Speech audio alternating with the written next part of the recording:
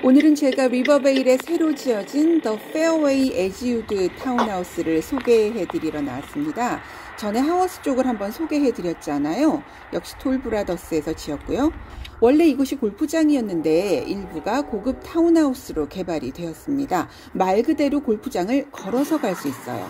여러분 안녕하세요. 에이전트 세라와 함께하는 오픈하우스 시간입니다. 오늘은 제가 리버베일에 나왔습니다. 먼저 가격 정보 확인하시고요.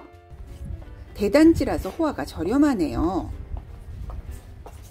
자, 문을 열고 들어가면 오늘 바람이 많이 불고 쌀쌀했는데 showing하러 여러분들이 오셨더라고요. 1층에는 패밀리룸, 다이닝룸, 키친, 홈오피스가 있습니다. 오픈하우스를 담당하는 에이전트 닉의 친절한 안내가 감사하더라고요. 밖에 patio에 바베큐 그릴 놓으실 수 있다는 거 알려드리고요.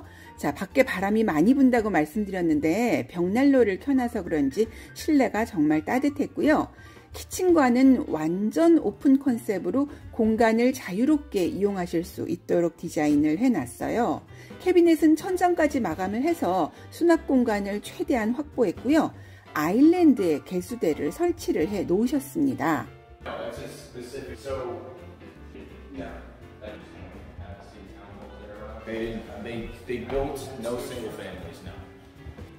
자, basement부터 위층까지 이용하는 엘리베이터가 있고요. 오른쪽에는 two car garage가 있습니다. 새로 지어서 그런지 완전 깨끗하네요. 이곳은 powder room이고요.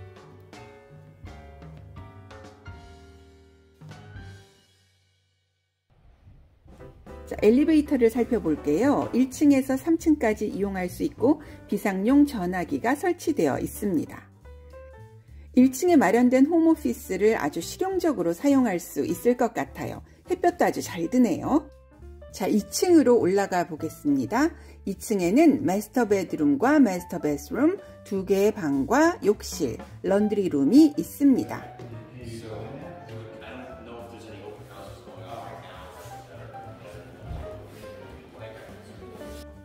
방향이 좋아서 그런지 방이 아주 넓고 햇살이 잘 드는 방이고요. 클라짓도 넉넉하고 중간에 욕실이 있어서 형제 자매들이 편하게 이용할 수 있습니다.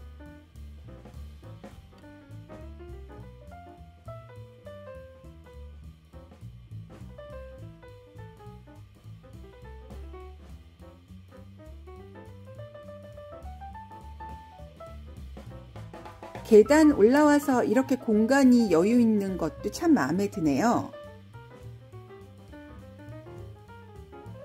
자, 다음은 런드리 룸입니다.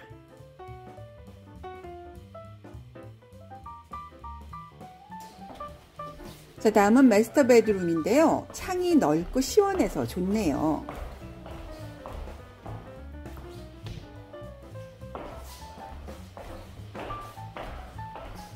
자, 여기 히센 허스 클라짓이 준비되어 있는데 사이즈가 굉장히 넓게 준비해 놓으셨습니다. 다음은 마스터 베스룸인데요. 욕조 정말 귀엽네요.